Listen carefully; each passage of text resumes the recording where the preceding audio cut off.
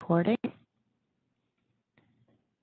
And let's share a screen. We are going to go through, uh, for our exam two review, we're just going to go through uh,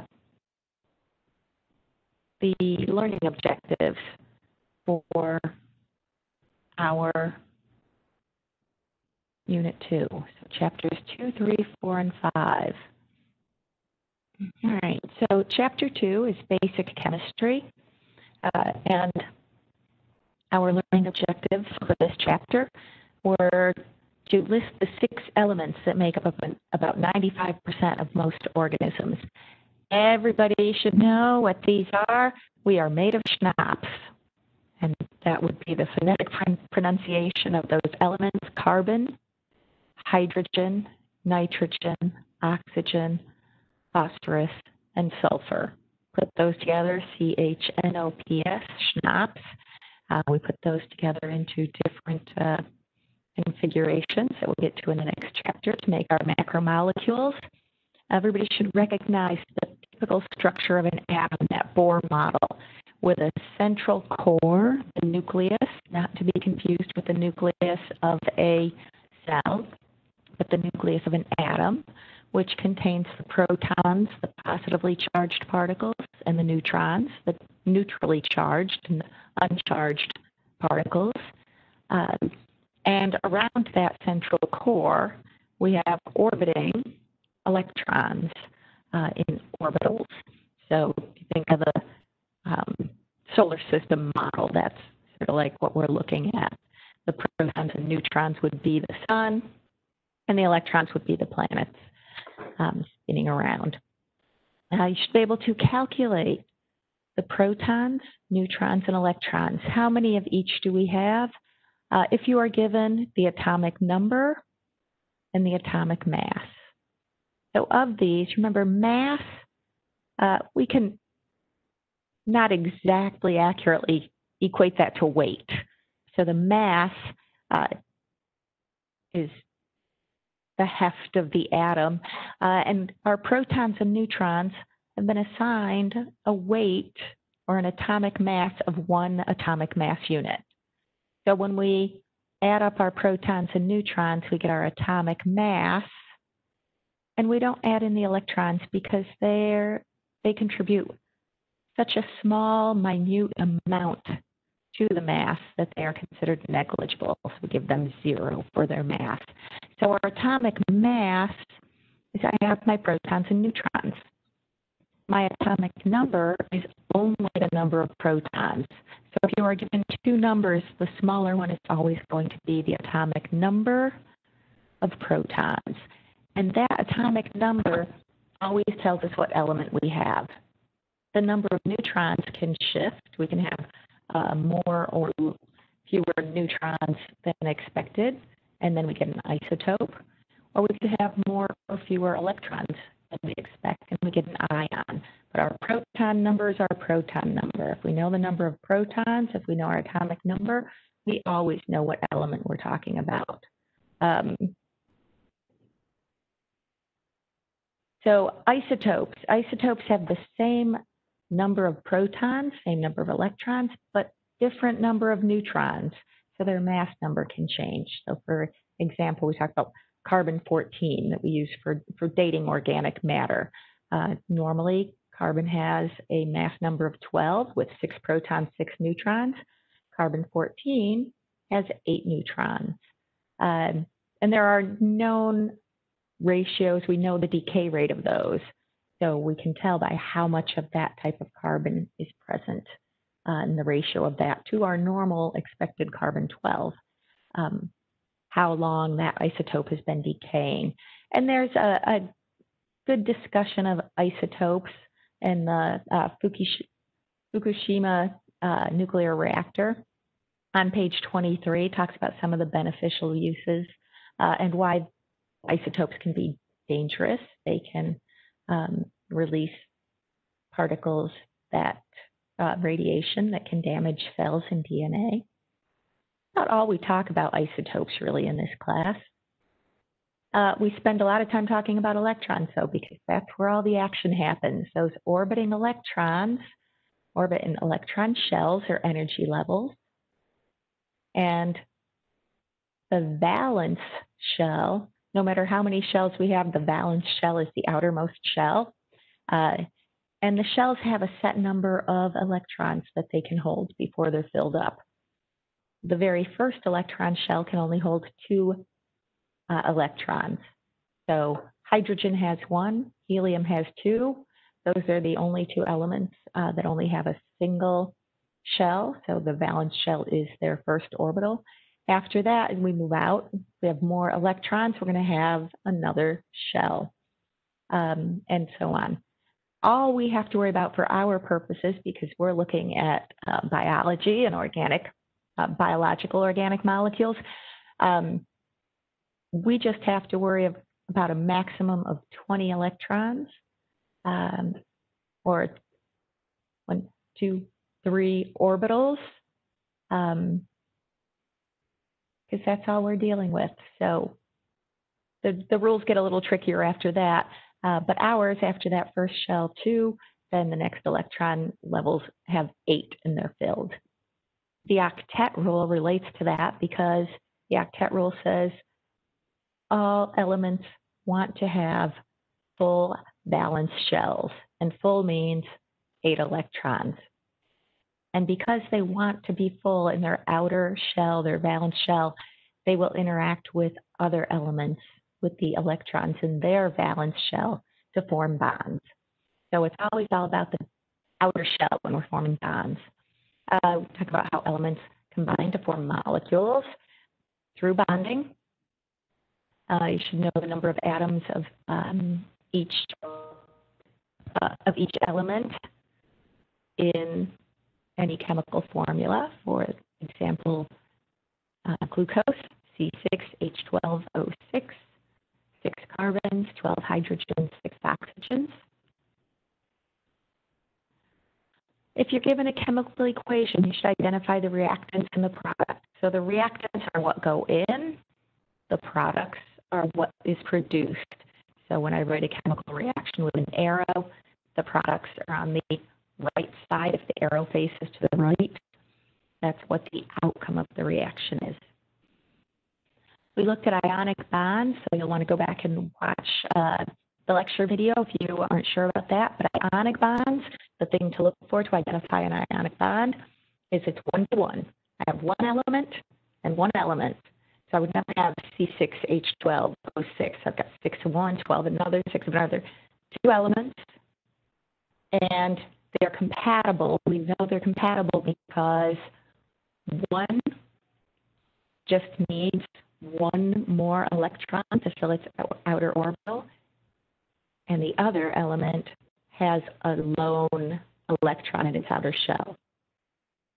So this one will give up that lone electron, leaving it with eight in its outer shell. It's now down one. If it had three outer shell, out three orbitals. It now has two because it lost the one electron in that one.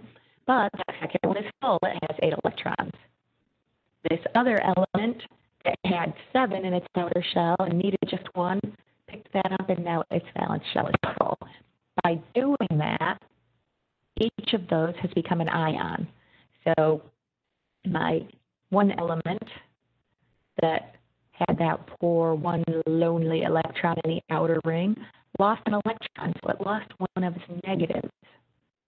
So it's down to negative, meaning it has one more proton than an electron. So it's a positive ion, it has a positive charge.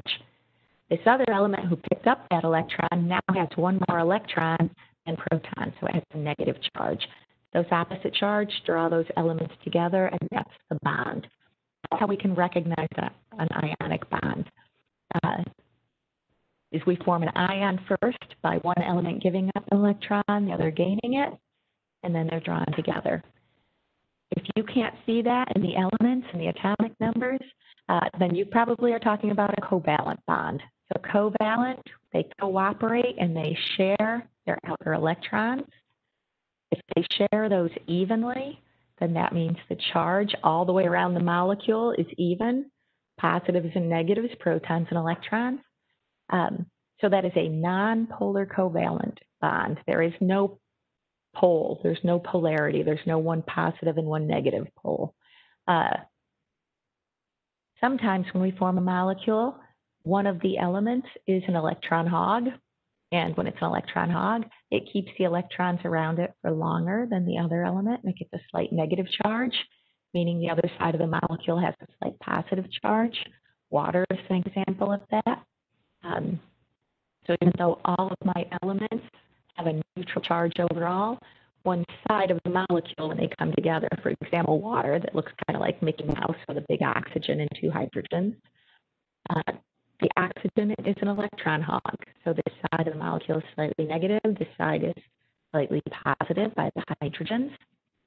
Uh, and one thing that can happen when I have that polarity is I can get lots of hydrogen bonds forming between the hydrogens of one molecule and another part of another molecule. So in water, my slightly positive hydrogens are drawn to the neighboring molecules, slightly negative oxygens, and those are hydrogen bonds that form. We also looked at the main properties of water that hydrogen bonding makes possible and that allow life to exist. Uh, so we looked at those properties, cohesion, water molecules stick to other water molecules. That gives us surface tension, gives us some viscosity, water flow. Uh, it lets water flow up because um, in trees, for example,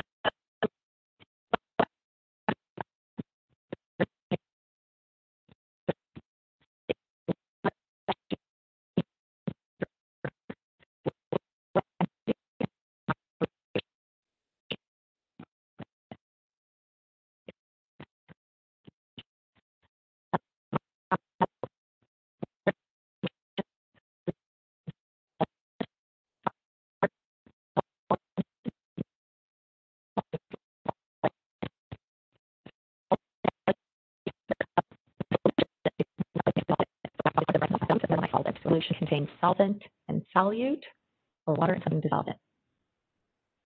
Uh, we looked at pH, and the pH scale is a measure of hydrogen potential, hydrogens and hydroxides. Uh, pH, the actual measure, is the inverse log of the number of hydrogens. As an inverse, it means when I count how many hydrogens I have, it goes in the denominator the bigger the number in the denominator, the smaller the overall number. That's why on the pH scale, low numbers mean high hydrogen ion concentration. So acids have low numbers, less than seven. Bases have higher than seven, uh, and neutral is seven. Oh, you want to look at the discussion of acid rain on page 32.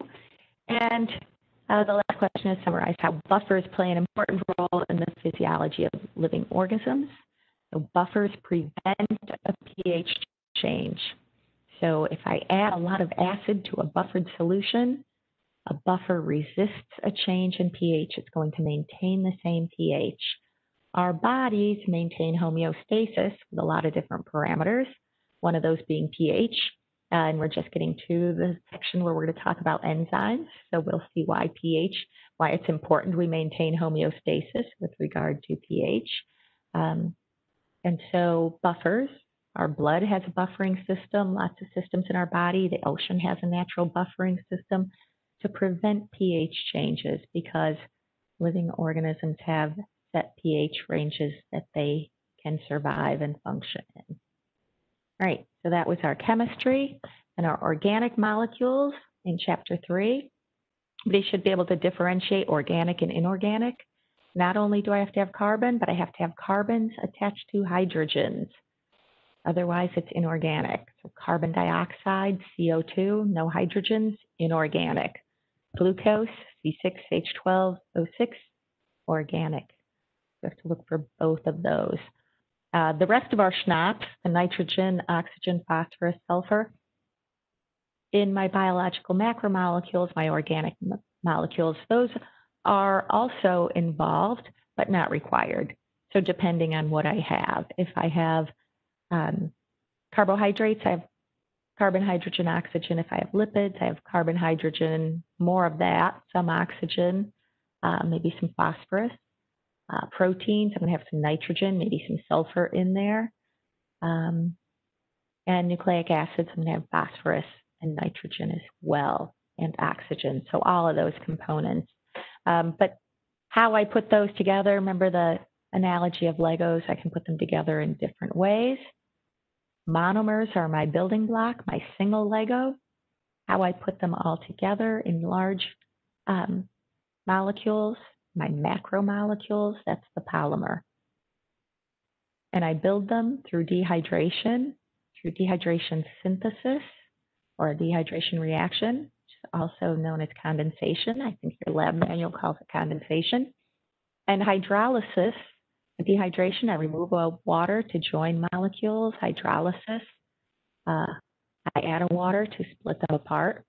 So I build monomers, or I build polymers from monomers by removing a water. I break down polymers into monomers, monomers by adding water. So everybody should recognize the formula for carbohydrates. Almost all carbohydrates have one carbon to two hydrogens to one oxygen and anywhere from three to seven carbons. So if it had three, it would be C3, H6O3. If it had seven, it would be C7, H14, O7. There are some variations, for example, in deoxyribose, our sugar that's in DNA or nucleic acids, in nucleic acid DNA. Uh, deoxyribose, deoxy, that tells you it's got C5, H10, O4. It's down in oxygen. Um, let's see. So you should know that formula. You should know the classes of lipids. We have our, um, our triglycerides, our phospholipids, our triglycerides, our fats and oils. Our phospholipids are the component of biological membranes. Um, Triglycerides have three fatty acid tails, phospholipids only have two, and a phosphate attached, and then waxes and sterols. To know the six basic functions of proteins. So we have receptor proteins, recognition proteins, we have junction proteins that join cells together.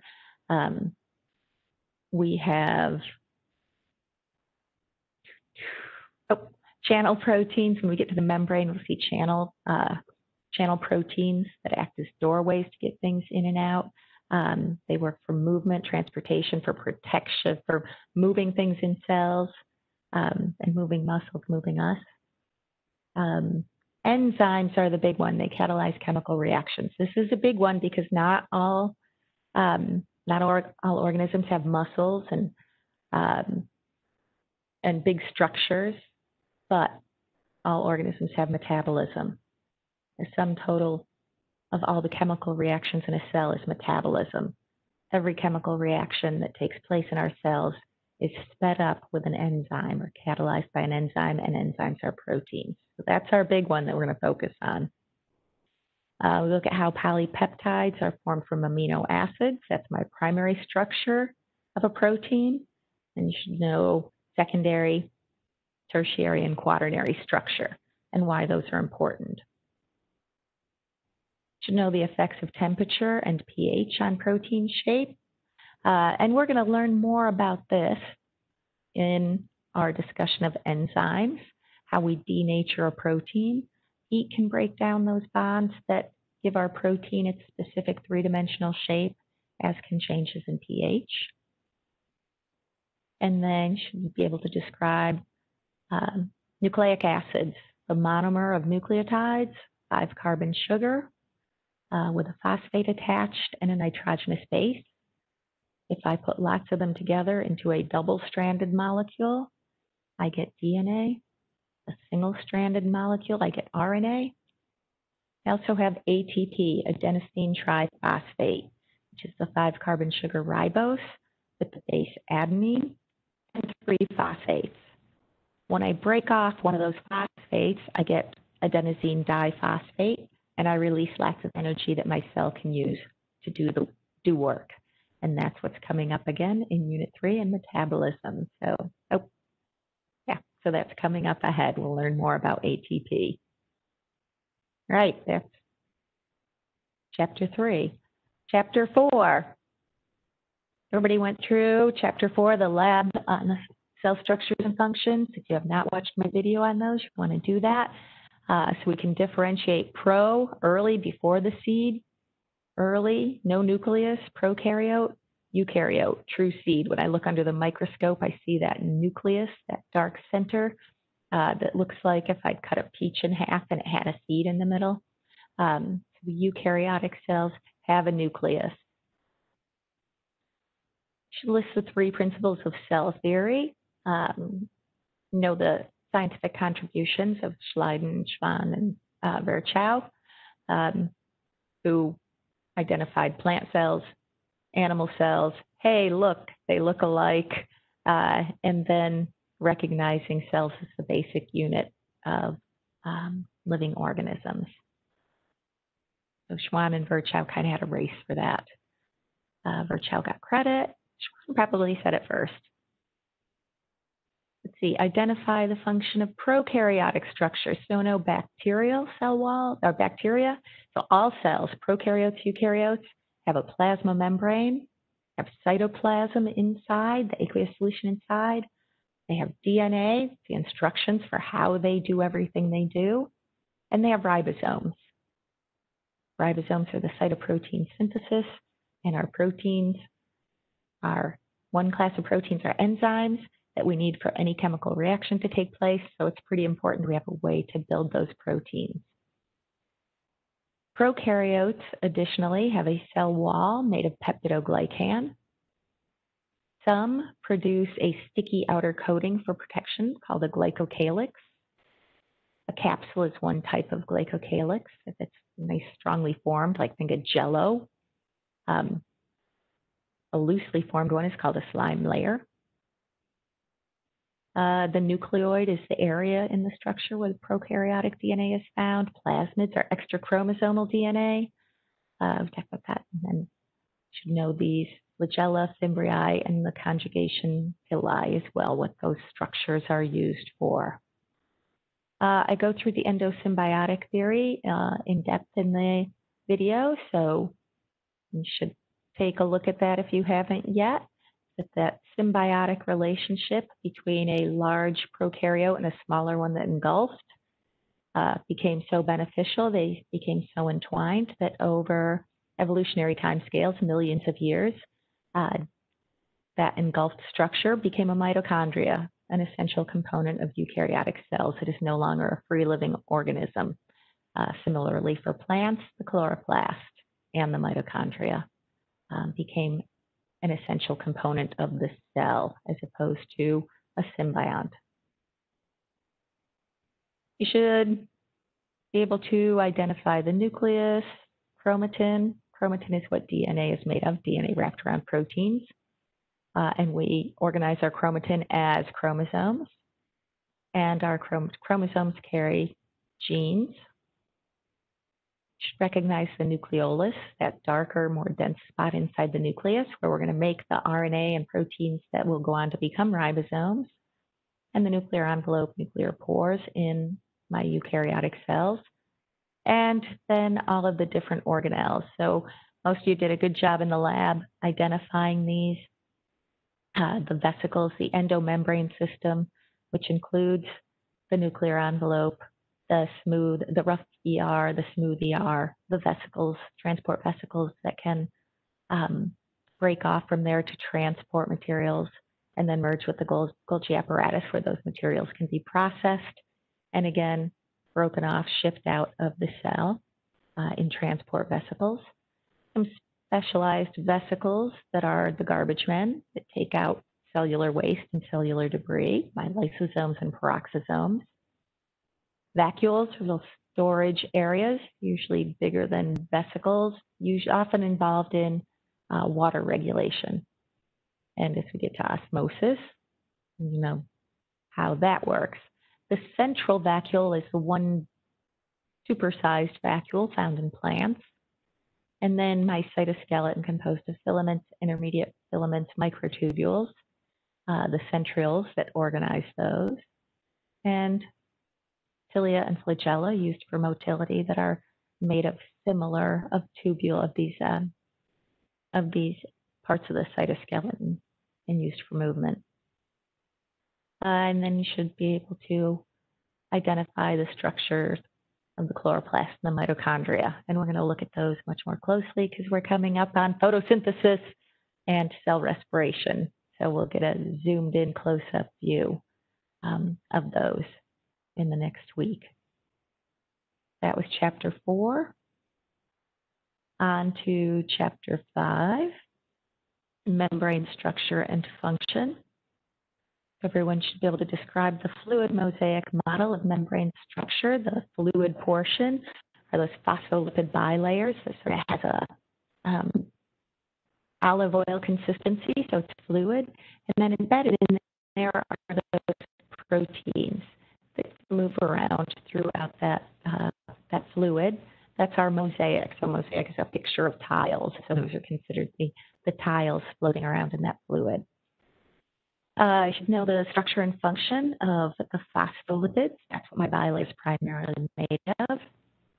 I have the steroid cholesterol in animal membranes, and that helps to maintain its structural integrity and the proper viscosity.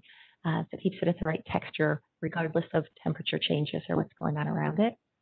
I have embedded proteins that play all those roles that we talked about proteins playing.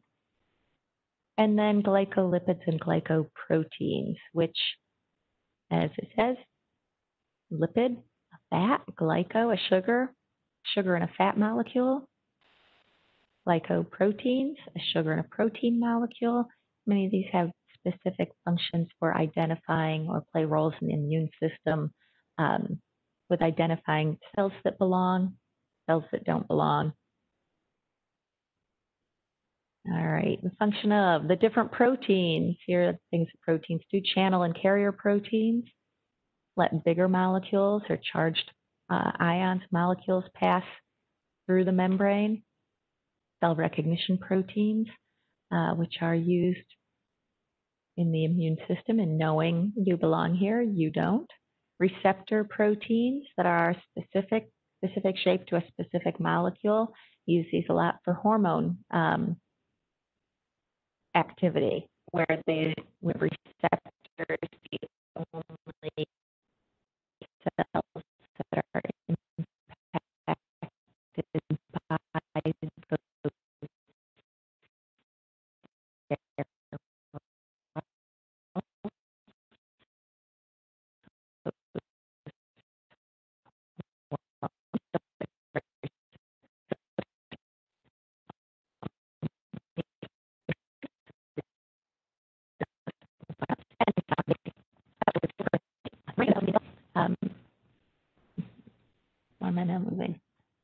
So lets things go in and out of the cell. Oh, there we go. Didn't move. So selective, it chooses what can and cannot pass through that membrane. It can prevent things from entering or it can maintain a concentration gradient to make sure uh, that things stay in and don't leak out through diffusion. Um, and then bulk transport. Uh, so we, there's an activity, and that's part of your discussion. There's quite a bit on uh, how we get things in and out of the cell. And one of the important things that we're going to look at is how we get water in and out of the cell. So again, as I mentioned, a solution is a liquid made of the solute, something dissolved in a solvent, water for biology. Water can move just like any other molecule down a concentration gradient. So when it's just any old molecule moving down a concentration gradient, diffusion, water moving down a concentrate down its concentration gradient uh, across a membrane, it's osmosis. And facilitated transport is when I need to have one of those channel proteins to get through because I'm too big. I can't pass through that membrane. Uh, so it's still passive transport, no energy required, still going down the concentration gradient. Um, if you're still struggling with diffusion and osmosis, do look at the videos that I posted on this. They will be very helpful. Um,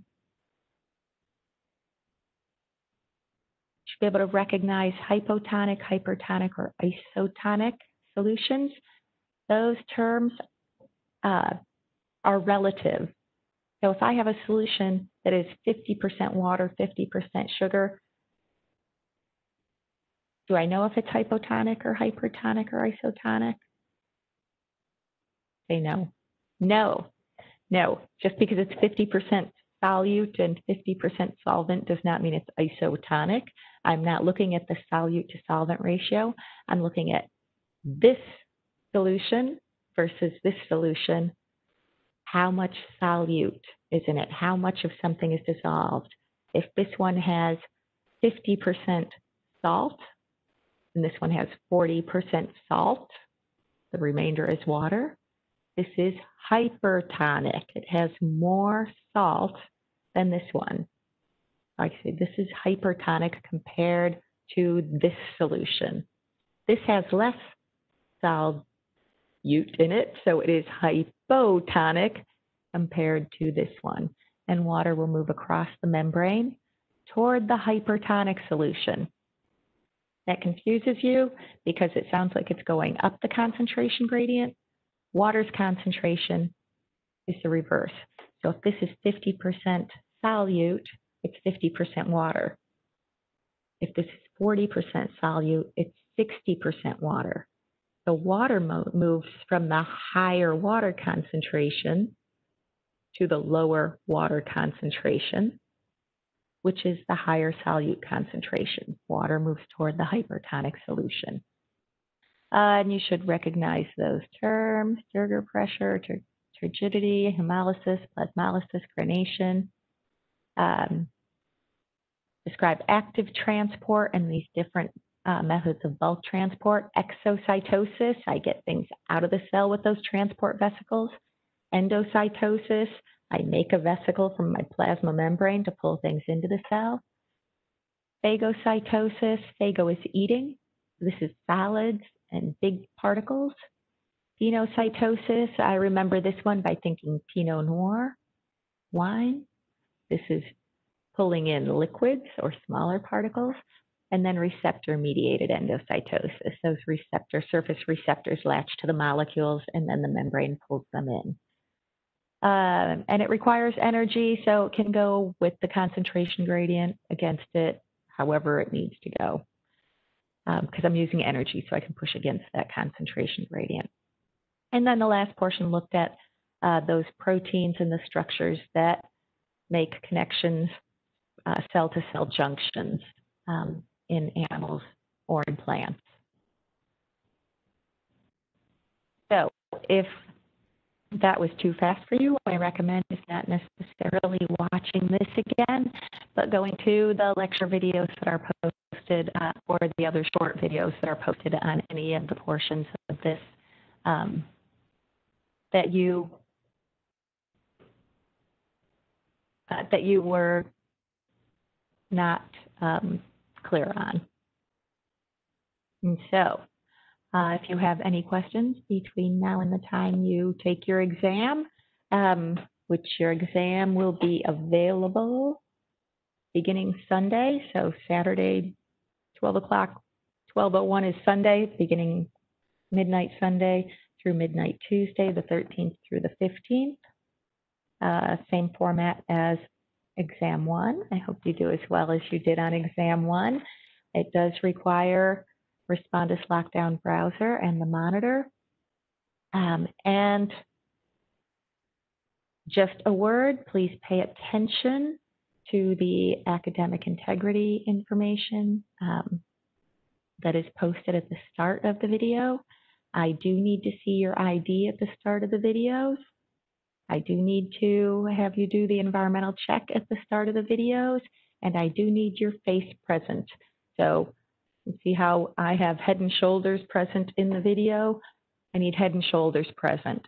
Um, if all I'm seeing is the top of your head and the wall behind you, I will assume that you are looking at a book or a phone in your lap and you will receive a zero. If you stop notifications when you are being notified um, that you are out of the video, I will assume you are cheating and you will get a zero.